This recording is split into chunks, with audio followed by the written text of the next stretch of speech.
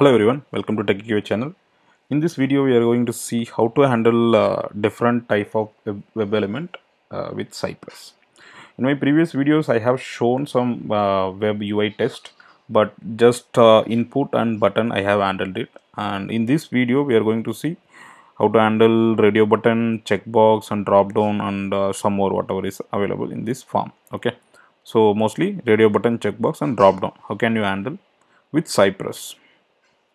Uh, maybe uh, this is the sample site which has all different kind of uh, web element. You can see it here.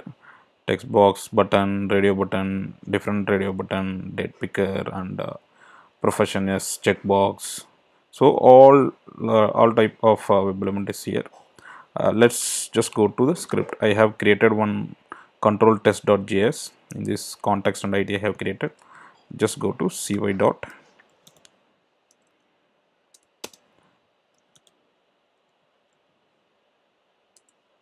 visit.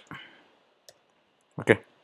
Uh, I have to provide this URL I just copied it and paste it uh, no worries. I can give this URL in the description also. Then cy dot uh, like next action what I have to do uh, maybe uh, simply I will just uh, enter one value in the first name. As of now maybe you if you want you can run it and everything. So name is equal to first name. Just copy this. Control F like I'm just validating uh, the CSS yeah there is only one match as of now. Just copy this and go to code get. First name type something like dharma. Uh, just first name. And now uh, I have to click on uh, radio button. It's okay I'm just ignoring last name. As repeated.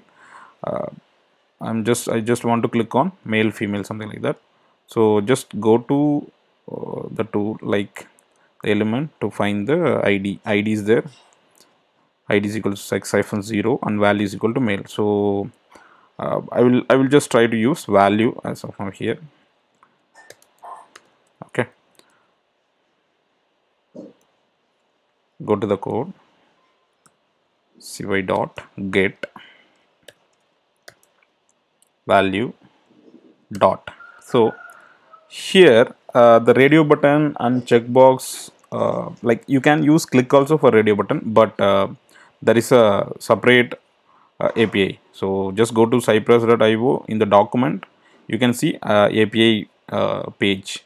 There you just scroll in the commands. There is a method called check. So what is this check? Check value option so what and all you want to send here is the usage. For example if you want to use checkbox you just click on check. If you want to use for radio button you can use this one. Okay.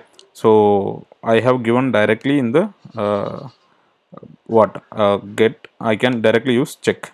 Or if i'm giving a parent element id okay that also we'll see. As of now i'm giving check.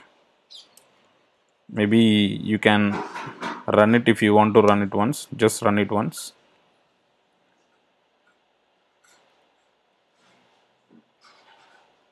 It's going to the web page and uh, it will enter the name and radio button. So only two lines of code I have written so it will do that.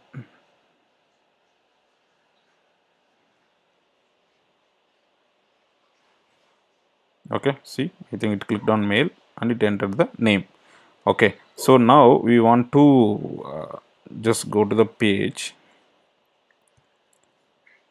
We just want to go to the parent control of this. This are all input. Okay type is radio first and second. So it just take first and second. There are a lot of radio button right? So it, it's it's clumsy. So better to use uh, the exact one whichever you want. I i have used a male like female right? Like that's the better way. Don't use first and second with the radio one. It will then it will create a problem. Okay. Similar way for the checkbox also there is a profession. Okay. So i want to go to automation tester just uh, take a css cy dot get check. So I have just checked automation tester. And uh, like let let me write uh, for a drop down whatever it is. So here is the select continents is the id for that i will tell you cy dot get given the id but which method we have to use we should go to the api page and just uh, scroll down to the commands at the end. There you can see select. In the select value options and uh, get select and select user one uh,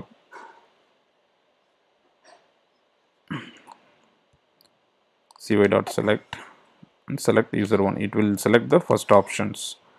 Okay likewise or else you can directly select the value also. There are two options one is with select. Okay this we will use. Get then select. Directly select with the value. There are two options right? Uh, get and select. Just go to the page. And what is the value is there? As or no i want south america. Sc so sc i will use. Okay. Just run this. Okay i think it started running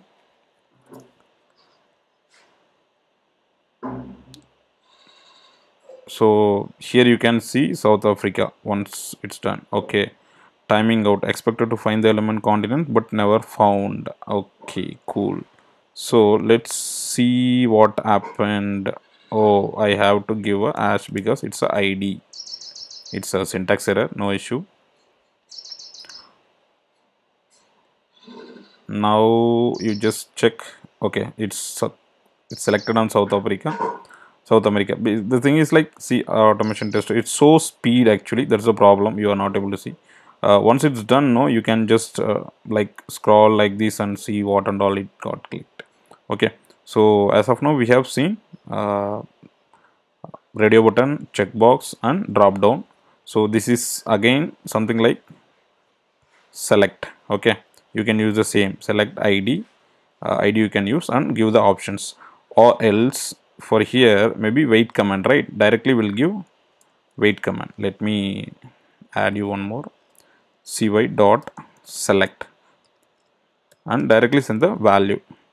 And let's see it should click on wait uh, commands on the next uh, select.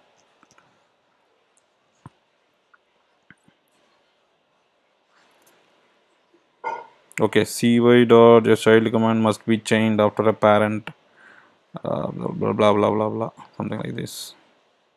Oops it's like you're trying to call a child command before running a parent command. Okay. So as per the syntax given here okay this is incorrect. Usage they are saying oh okay. Anyway we have tried uh, uh, what? Normal stuff also. Maybe we have to pass dot get. Pass that uh, id of that next uh, select. What is this? Selenium commands is the id okay cool. I just pass the id with hash. Now just see what it happens. Something happened some syntax error. Okay cool. I have given two dots that's why.